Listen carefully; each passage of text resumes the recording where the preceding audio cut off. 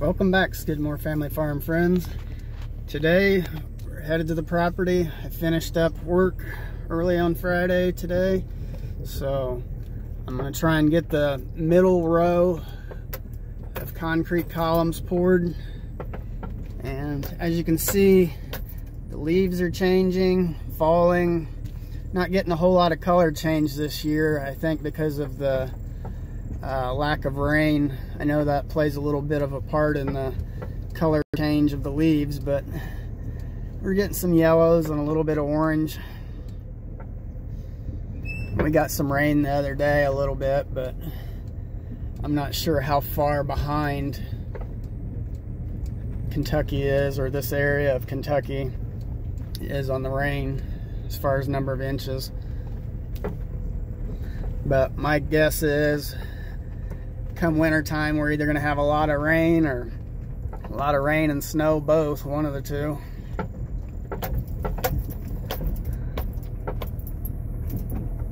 But all the grass and stuff is still green so that's a plus. I think it got down to 35 here last night.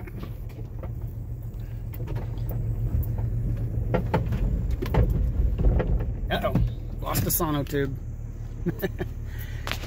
had them sitting on the roof. I got them out of the barn at Ryan's house, and I just threw them on the roof because the because the van's full of stuff.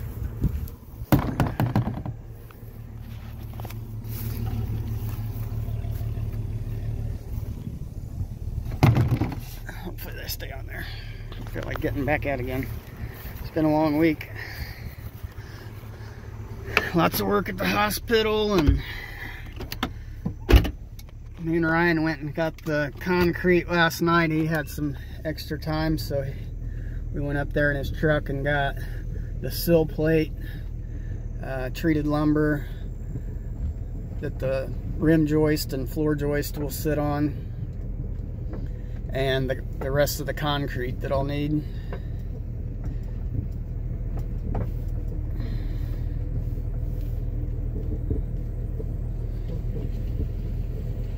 Yeah, I can hear a little bit of mud there.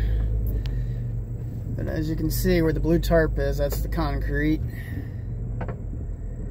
And uh, before I get started, I'll take you up. I did a little bit of clearing uh, over the last couple weeks up past the old homestead. I'll show you the the trail that goes up past that.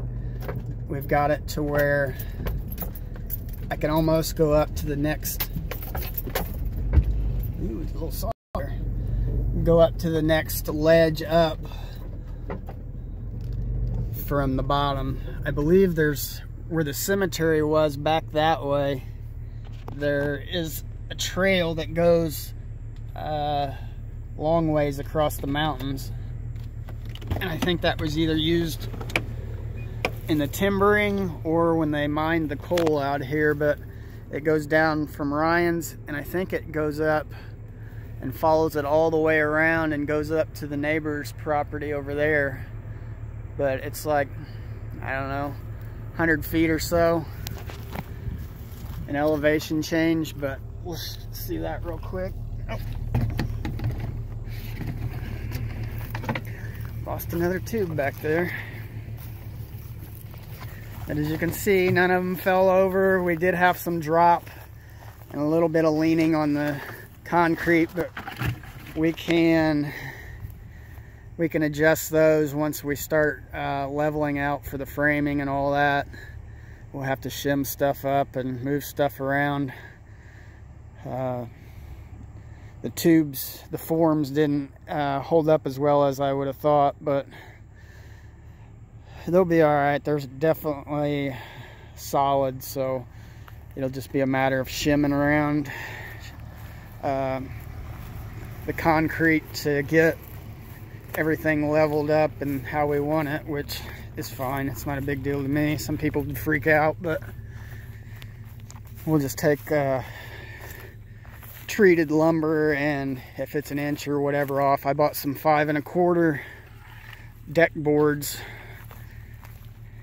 to go underneath the two by eights or two by sixes if we need to, wherever we need to, to shim. I know that one far corner on the right over there where you can see the wooden stakes, it sits probably two inches below because the tube started to blow out and it started leaning and stuff. But instead of messing with it, I just let it do what it needed to do. And um, I was afraid if I pushed on it or started trying to adjust it, uh, while the concrete was still wet that it would just blow out completely and all the concrete would drop out and I didn't want that so I'll just deal with it when it comes time to framing. But like I said let's head up to the old uh, homestead site and we'll go up and I can show you where I cleared cleared the trail out some it was um, all weeded up and all that but we're trying to get a drive that'll go up to that ledge like I said and then we'll probably get some cabins up there at some point and uh, that'll be our first step to gaining access to the other trails. There's trails up here they're just all overgrown and um, it's just a matter of finding them and and seeing if we can, if they're usable still for access on our property to the top of the mountainside. We always have the route of going through Ryan's property like I showed you on the past videos, but it'd be nice to have our own route up there. That way we're not constantly having to go through their property or if we put cabins up there uh, wouldn't have to have strangers going to the cabins going through somebody else's property.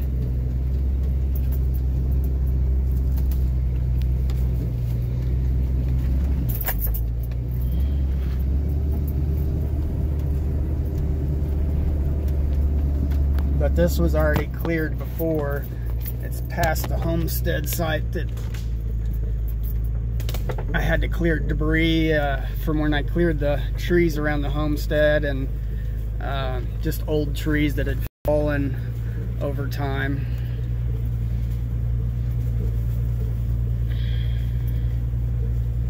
And hopefully I don't bottom out here. Yep, might not be able to get up there. It's a little muddy. It's wanting to slide into the ruts and that puts us high centered.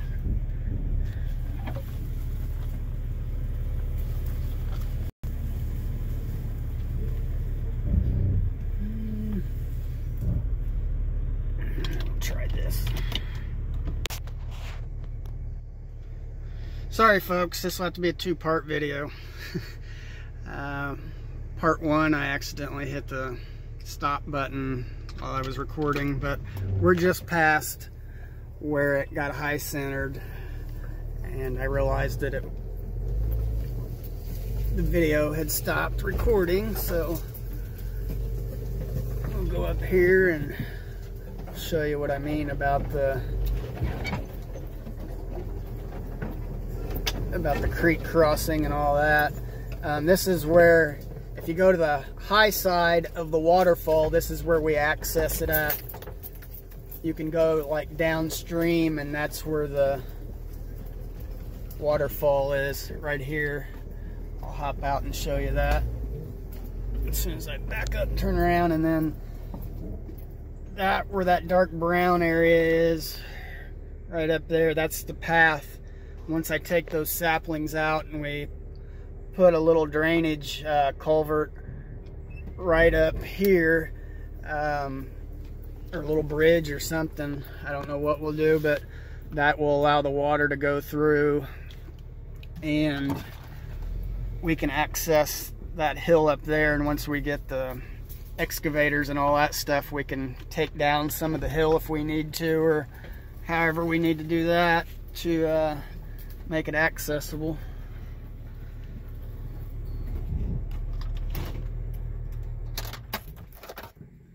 But I'll give you a quick view before we shut this off. Um, like I said, you can see this was all grown up. And I've just been driving over it and cutting it as I come up here and get a little bit of time when I haven't been working on the cabin. But you can see that's the creek. The water runs off, the mountainside comes down there, comes through here, you can see the rocks. And then goes down through there and then a couple hundred feet that way is where the waterfall was that we showed in an earlier video.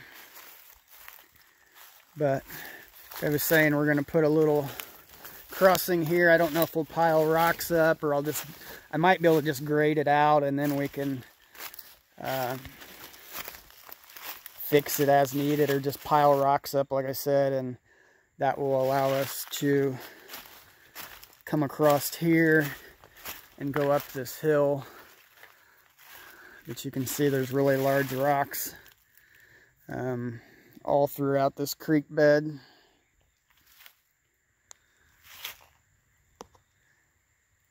And when we first looked at the property and bought it, this had running water through it the whole time. It was just that July and August and uh, early September, even up to now, we just uh, really behind on rain.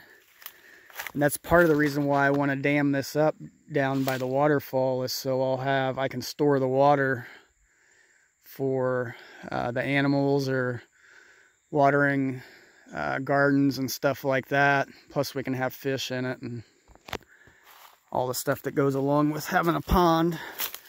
It will also attract more wildlife if there's consistent water uh, year round. They'll, deer and all the other animals will also uh, come to that, which will help us out because the more wildlife we have, that's uh, deer is food to us. So I mean, I like having them around anyhow. I'm not going to try and just slaughter them all, but um, providing water for the animals uh, sustains life. Water, water, everything, yeah, everything revolves around water pretty much, and food. So if we can provide that, we will have more animals, which is a plus.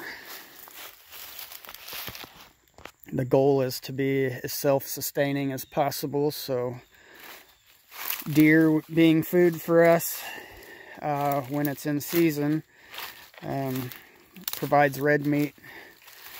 Uh, with being landowners, we have, I'm not sure, I still haven't checked into the DNR rules, but we have um, rights to more deer than the average hunter because when you get your permit, depending on the county, you're allowed so many does or bucks or whatever you're hunting. And that's based on county population of deer and stuff. But as a landowner here, and there's so many deer, I'm guessing we probably, um, with the landowner permit, can get five deer a piece. Or anybody that's hunting that lives on the land with it being our property, Ashley could get five, I could get five, or I'm not sure the numbers, but something along those lines, four or five, which would be a whole year's pretty much of red meat that we can substitute that for steak uh, being from a cow, even though we're going to raise some cattle, but um, that just means we can sell more of the uh, beef for profit and or donate. We plan on donating a lot of the stuff too um, to the community through the church and uh, just as needed to our neighbors, that type of thing. Our neighbors are all helping us out a lot, so um, that can be a form of repayment. Just like last night, Ryan taking us to the or taking me to Lowe's to get the concrete because he has the heavy duty big truck. Um,